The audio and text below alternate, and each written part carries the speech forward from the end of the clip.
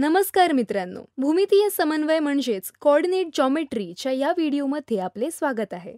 या सत्राची सुरुवात आपण एका कथेने करूया. एका मैदानात अनेक झाडे लावलेली होती. पण त्यात केवळ असे एकच झाड होते ज्याला पांढऱ्या रंगाची गुलाबी यायची.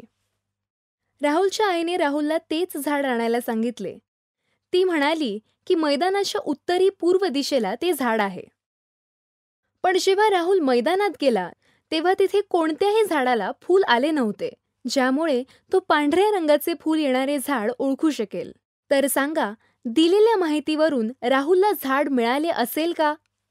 मित्रांनो दिलेली माहिती पुरेशी नाही. त्यावरून केवळ एवढेच कळू शकते की झाड मैदानाच्या कोणत्या तरी भागात स्थित आहे पण त्याचे निश्चित स्थान माहिती नाही. जर त्याला अशी माहिती मिळाली असती की ते झाड दुसऱ्या ओळीत डावीकडून सातवे आहे तर राहुलसाठी ते झाड शोधणे सोपे जाईल. मित्रांनो अशा प्रकारे कोणत्याही बिंदूचे स्थान सांगायचे असल्यास आपल्याला दोन माहिती किंवा दोन निर्देश सांगणे आवश्यक आहे. याच विचारसरणीचा गणितात मोठ्या प्रमाणात उपयोग केला जातो. ज्याला आपण भूमितीय समन्वय म्हणजेच कॉर्डिनेट जॉमेट्री म्हणून ओळखतो. भूमितीय समन्वयाचा शोध फ्रान्समधील एक मोठे गणिततज्ञ रेने देकार्ते याने लावला. म्हणून याला कार्टेशियन प्रणाली देखील म्हटले जाते. याच सत्रात आपण कार्टेशियन प्रणालीबद्दल सविस्तर चर्चा करूयात. जसे आपण बघितले की कोणत्याही बिंदूची स्थिती जाणून घेण्यासाठी दोन निर्देशांक जरुरी आहेत. कार्टेशियन प्रणालीत दोन संख्या रेषा एकमेकांना लांब असतात. क्षैतिज रेषेला एक्स अक्ष म्हणतात. त्याला एक्स एक्स असेही नाव दिले गेलेले आहे. तसेच ऊर्ध्वाधर रेषेला वाय अक्ष म्हणतात ज्याला वाय वाय असेही नाव दिले गेलेले आहे. एक्स अक्षाला भुज म्हणजेच ॲप्सिसा देखील म्हणतात आणि वाय अक्षाला कोटी म्हणजेच कॉर्डिनेट देखील म्हणतात.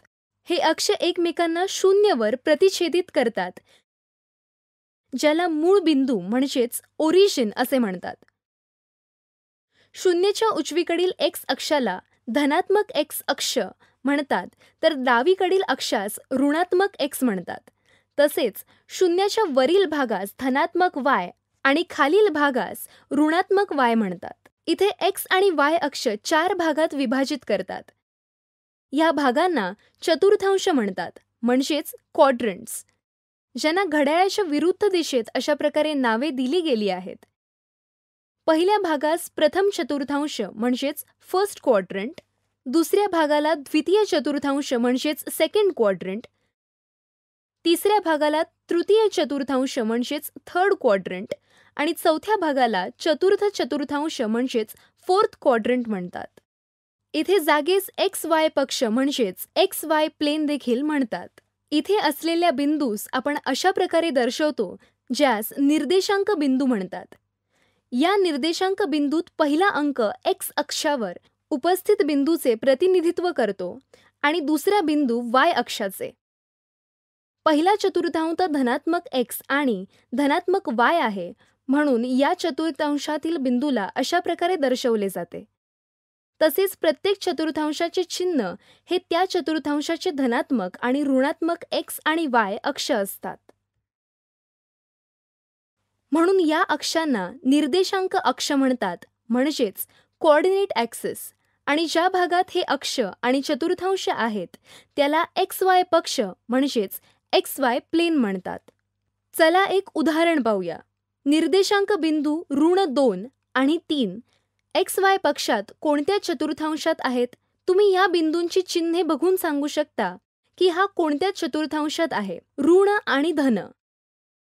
हा बिंदू द्वितीय चतुर्थांशात दर्शवतो. मित्रांनो आजच्या सत्रात इथेच थांबू. आज आपण कार्टेशियन पद्धत म्हणजेच कार्टेशियन सिस्टीम प्रणालीबद्दल अभ्यास केला. पुढच्या व्हिडिओमध्ये भेटूयात. धन्यवाद.